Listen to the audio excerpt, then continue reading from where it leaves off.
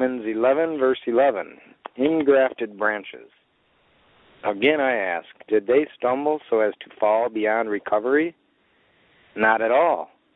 Rather, because of their transgression, salvation has come to the Gentiles to make Israel envious. But if their transgression means riches for the world, and their loss means riches for the Gentiles, how much greater riches will their fullness bring? I am talking to you, Gentiles, inasmuch as I am the apostle to the Gentiles. I make much of my ministry in the hope that I may help somehow arouse my own people to envy and save some of them.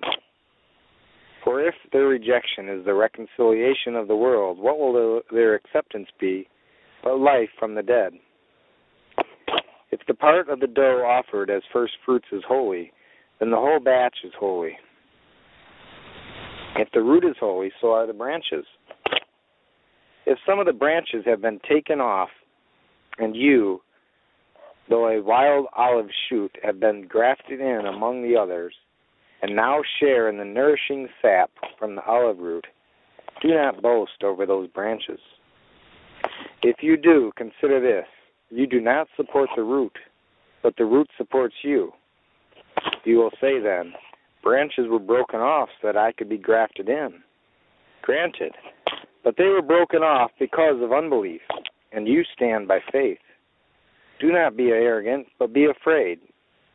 For if God did not spare the natural branches, he will not spare you either.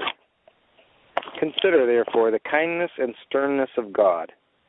Sternness to those who fell, but kindness to you, provided that you continue in his kindness. Otherwise, you also will be cut off. And if they do not persist in unbelief, they will be grafted in. For God is able to graft them in again.